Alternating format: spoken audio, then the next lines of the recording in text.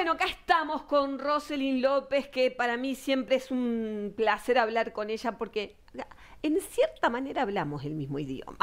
Bienvenida, Roselyn, ¿cómo estás? Muy bien, muchas gracias. Me, haces como siempre como despertar un montón de, facetas que, uno a veces tiene y no, no las tiene como tan activas, ¿no? O sea, lo que uno va... Exacto, exactamente. Hoy hablamos, seguimos hablando, es como hicimos como una secuencia de potencial y bueno, vamos a, acá. No a terminar, porque esto creo que es un tema que no se termina nunca. Ay, sí, justamente voy a hablar como de eso, de, de lo que, de que esto es un camino que, que tiene inicio. No hay vuelta atrás, ¿no? Como que, y, avanzas en la medida en que vas sintiendo cosas, ¿no? O considerando cosas.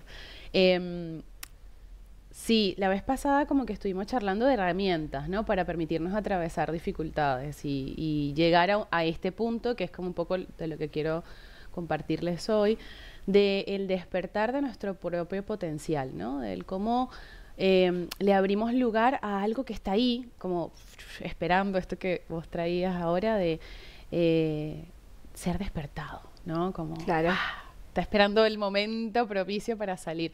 Y esto muchas veces aparece cuando hay dificultades la gran mayoría de las veces aparece cuando hay dificultades importantes en nuestra vida. O sea, se dice mucho que la crisis es una oportunidad de cambio y eso es así. O sea, hablamos de crisis económicas, de crisis existenciales, de crisis emocionales.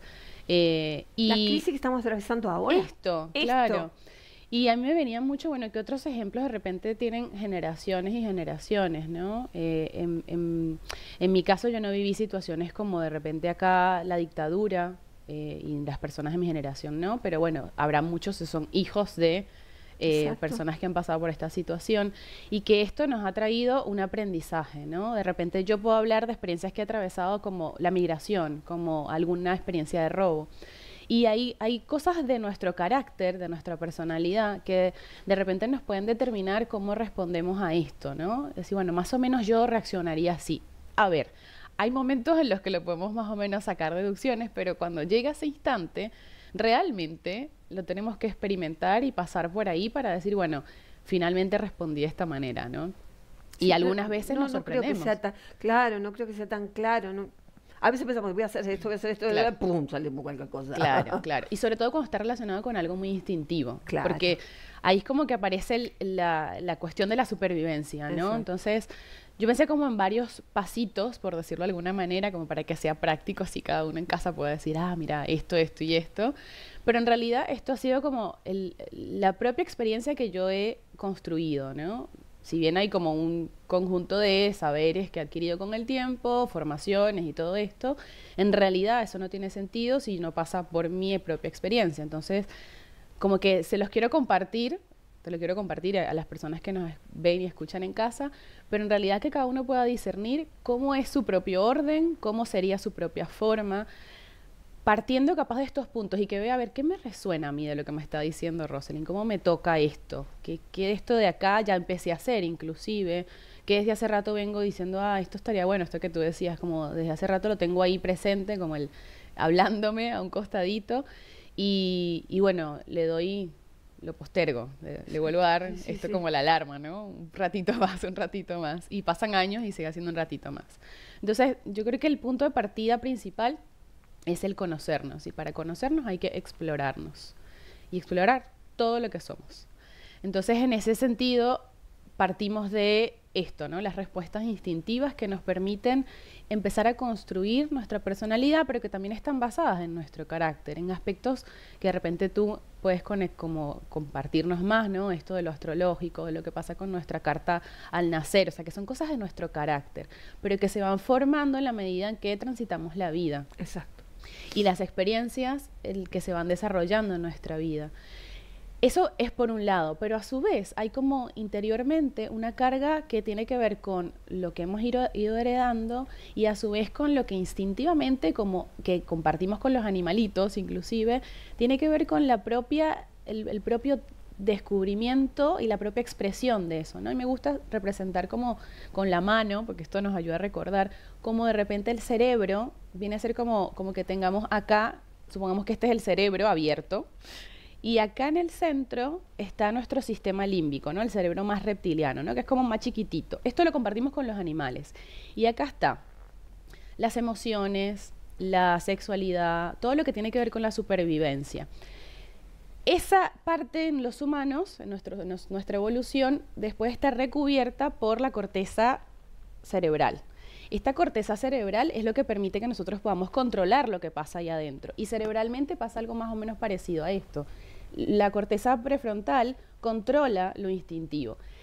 Ese control, digamos, eh, es una parte que tiene que ver con nuestra evolución y adaptación, pero ese exceso de control o la negación también de lo emocional, que es lo primero, hace que en algún punto nos neguemos, ¿no? Esto tiene que ver con otra cosa que también les quería traer y compartir, y es poder eh, conectar y, y, permitirnos abrazar nuestras emociones, ¿no?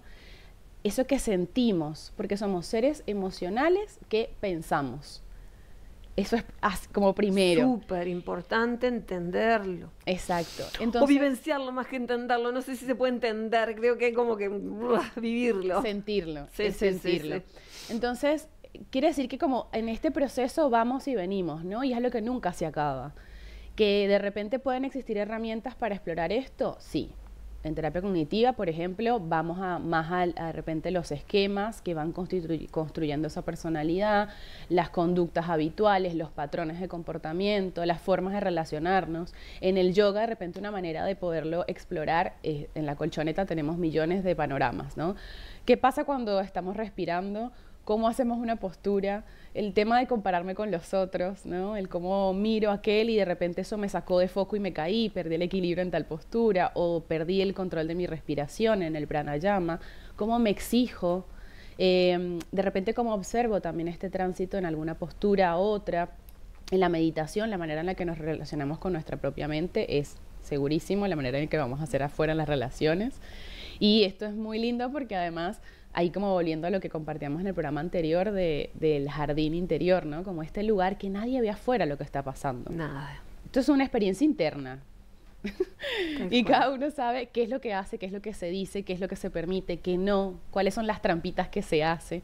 Y después otra herramienta que, que, bueno, ya les iré contando un poquito más, que es el Sound Touch. El Sound Touch nos permite explorar a través del movimiento, del sonido, del contacto sutil del propio sonido con cosas que están surgiéndonos adentro, ¿no? Entonces, hay un montón de herramientas, estas son las que yo encontré más cómodas para mí.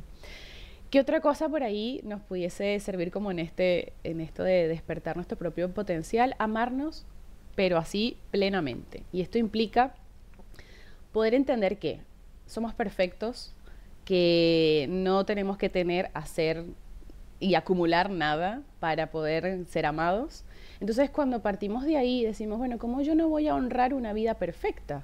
¿No? ¿Cómo no voy a poderle sacar el mayor provecho a esta experiencia humana? Por supuesto. Y abrazar todo lo que soy, ¿no? Y esto va a la, a la par de que si yo me amo plenamente, también le doy lugar a la expresión de mi verdad. Y entonces acá entra otro punto que es importante para despertar nuestro potencial, que es expresarnos con confianza.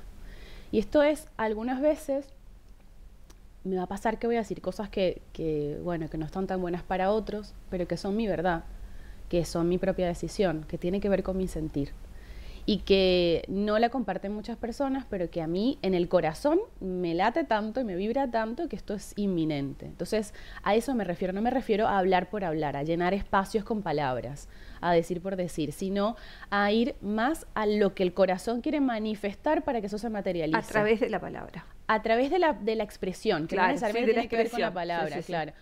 Em, Después otra cosa que es importante es poder respetar y conectar con nuestros propios ritmos y ciclos.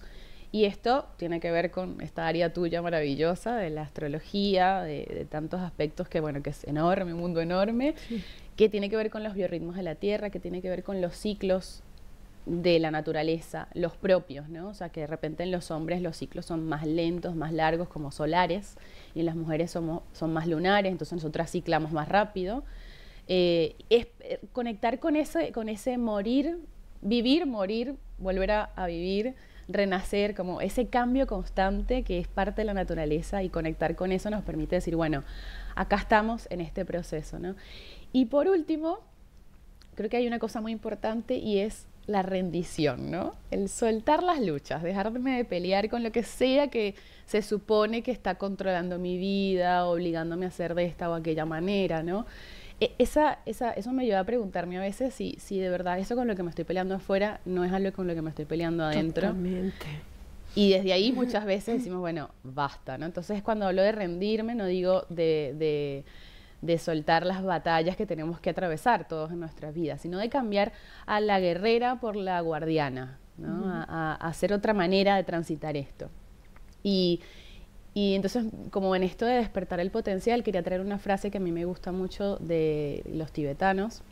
Ellos utilizan una comparación para la meditación que dice, toda persona tiene la posibilidad de meditar como cada eh, semilla de sésamo contiene aceite. Ay, me costó.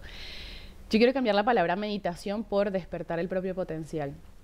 Y esto sería como construir así de repente como un tipo mantra, como a veces digo, ¿no? Frases para cada uno, que sea eh, como de recordatorio para en lo personal de todos tenemos la posibilidad de despertar nuestro propio potencial como cada semilla de sésamo contiene aceite. Exactamente.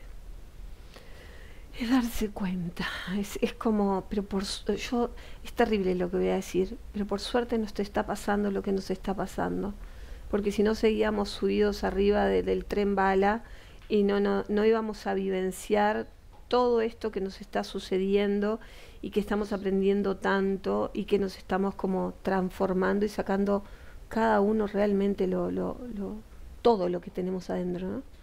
Es todo, ya, creo que el año que viene y el otro hablaremos de lo que sucedió en el 2020 y lo veremos a distancia y lo veremos con, con, con amor, ¿no? Porque realmente es así. Gracias, Roselyn, como Gracias siempre. a ti.